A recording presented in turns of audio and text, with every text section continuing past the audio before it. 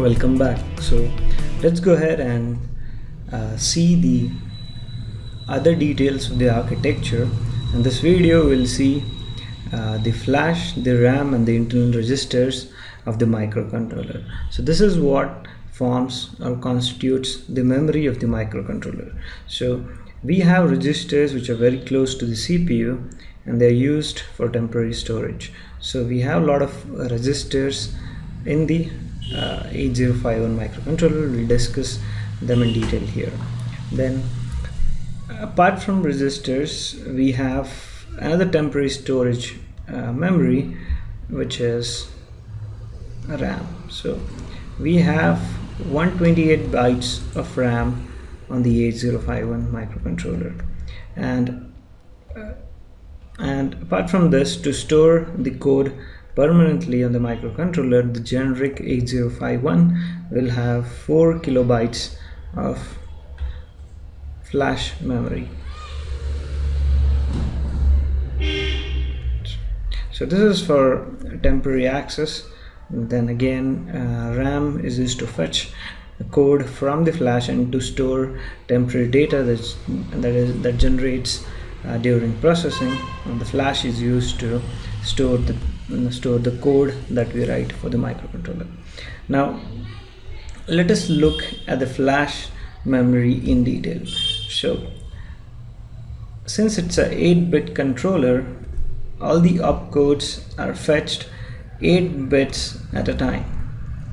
So since this is 4 kilobytes which is 1024 into 4 so uh, to address the 4 kilobyte memory we require 7 bits.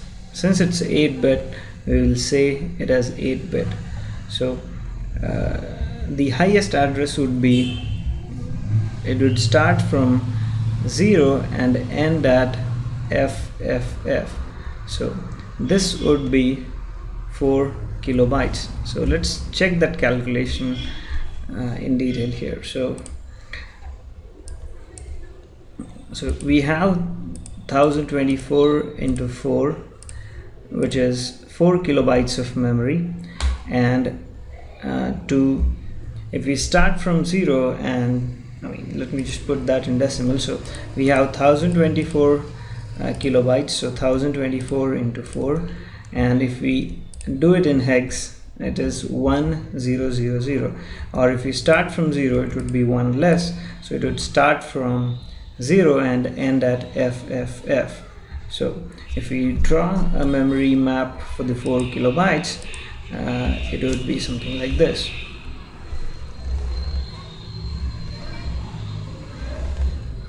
So the starting 8-bit location would be this is a hexadecimal notation so it will be 0x00 and the 4k would end at 0x f f f. So this is the 4 kilobyte of flash memory that is available on the 8051 microcontroller. Now let's go ahead and look at the RAM that is uh, available on the microcontroller. So if you look at the internal RAM it is of 128 bytes. So we have RAM of 128 bytes. Again uh, to verify the addresses so uh, this is 128 in hex uh, in decimal. So in hex it's 80 and if we start from 0 it would end at 7f so this is what we see here. So it would start with the location 00 and end at 7f so this is the one 128 bytes of memory that we have. Now in that 128 bytes of memory we have four register banks and each register bank has eight registers.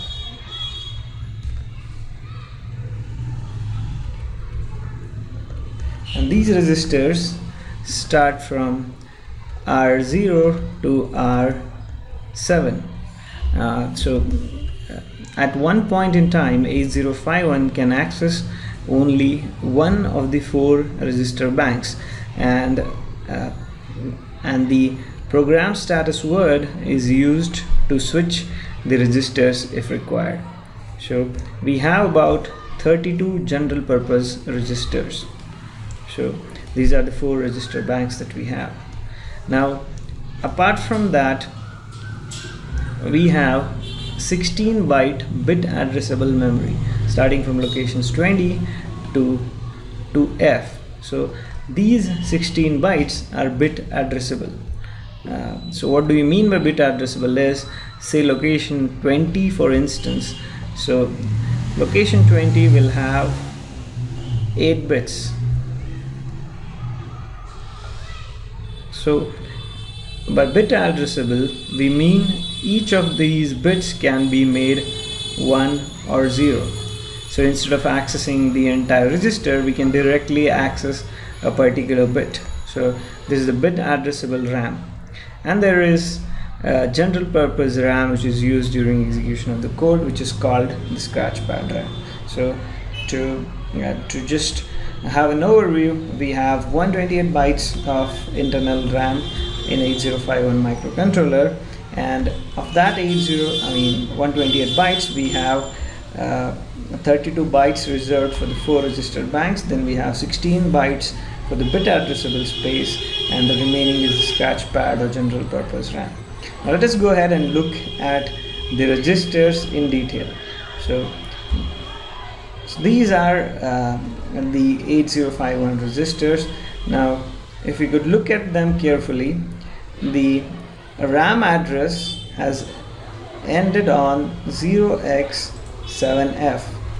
So uh, the space above it is used uh, or is designated uh, to the other special function registers and all registers in general. So what you could also observe is uh, the the addresses which we have written are not consecutive meaning to say that some space in between is reserved uh, to add functionality to the microcontroller. So let's go ahead and see what registers we have. So the first uh, what we observe is what we have pointed out in blue. So we have uh, port 0 port 1 and port 2 and port 3 so these are the four ports that we have on the microcontroller. So the, any input and output that we do will go through these port registers now apart from that you could also see uh, here these are used to access memory. So uh, the stack pointer is used to access RAM and DPTR is used to access external memory alright so and we already seen what the port registers are apart from that we have two timers which are used to used to measure time internally or they're used to count objects um, uh, objects or events external to the microcontroller. So these registers are related to the timers uh, 1 and 0. So uh, TH1 and TH0 are related to timer 0 and TL1 and TL0 are related to timer timer uh, I mean uh, so so basically they are not in a consecutive fashion as you see. So TL0 and uh, th0 they form uh, a, a, timer 0 and uh, tl1 and th1 forms timer 1 so there's a mistake here. So uh, so these are uh, the timer registers and these are timer control registers so we'll see these in details when we discuss about timers. Now we also have on the controller a facility to communicate with the external devices. And to uh, do that we have a couple of registers uh, which are used for serial communication. The SBUF is a buffer register that is used for serial communication and SCON defines baud rates and other parameters to used in serial or UART communication now uh, since the controller also accepts uh, interrupts from various sources there are a couple of registers to uh, deal with the interrupts on the microcontroller. So uh, the interrupt enable and interrupt priority are registers to configure interrupts on the 8051 microcontroller.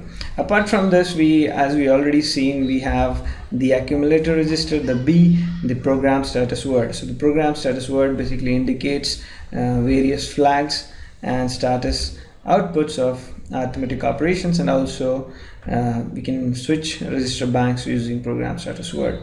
So these are all uh, the uh, registers of the 8051 microcontroller. Thank you for watching.